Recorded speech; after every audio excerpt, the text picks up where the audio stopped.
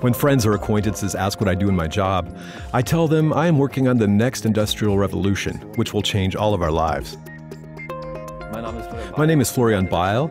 I am head of strategy and regional management in the Value Services Business Unit, part of the industry sector at Siemens.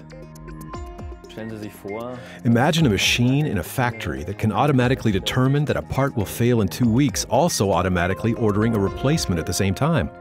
Or imagine the factory automatically measuring its energy consumption and optimizing it in line with changes in electricity prices.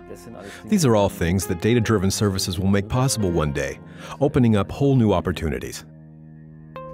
Data-driven services? Data-driven services is the service that derives concrete recommendations for the customer through the structured collection of large quantities of production and other data.